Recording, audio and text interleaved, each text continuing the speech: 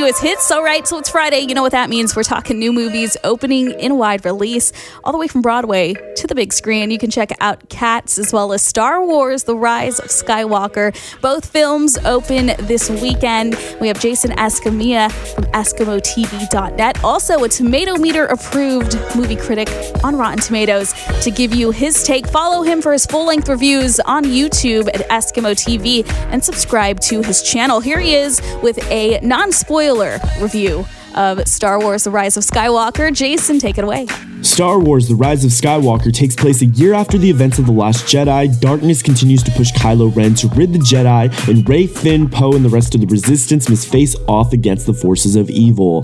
The film moves at a fast pace, wasting no time establishing character goals. The cinematography, visual effects, and score all come together to create several epic action sequences. Adam Driver and Daisy Ridley give emotionally powerful performances, and Carrie Fisher is given a beautiful, fitting narrative. The Rise of Skywalker will be very divisive with those who have not liked the film complaining about the plot undermining the previous films. I truly enjoyed the creative direction director J.J. Abrams went in, and I'm going to give Star Wars Episode 9 an A minus.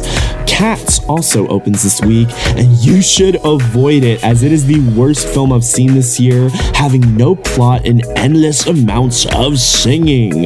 Cats gets an F.